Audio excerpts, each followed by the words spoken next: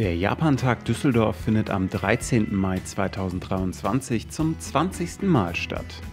Auch in diesem Jahr erwartet die Stadt Düsseldorf wieder Hunderttausende Besucher.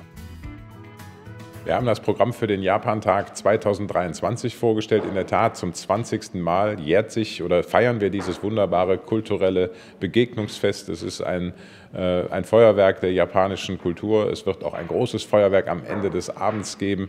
Äh, und ich glaube, äh, 600.000 Menschen waren im letzten Jahr dabei. Ich habe die große Hoffnung, dass es dieses Jahr auch wieder so viele sein werden. Die Düsseldorferinnen und Düsseldorfer können sich freuen und natürlich auch die vielen, vielen Gäste, die wir von außerhalb unserer Stadt erwarten.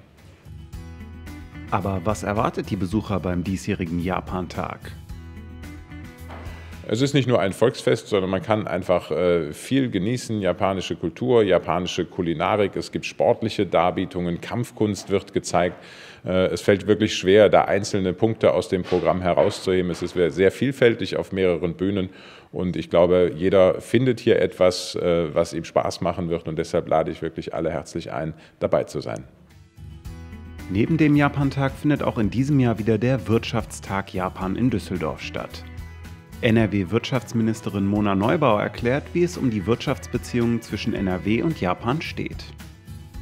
Wir haben intensive und vor allem langanhaltende Beziehungen zwischen Nordrhein-Westfalen und Japan. Und das ganz Wesentliche ist, wir halten die wirklich am Leben und es passiert richtig was. Im März diesen Jahres waren Unternehmer aus Nordrhein-Westfalen in Japan mit einer Delegationsreise unserer Außenhandelsagentur.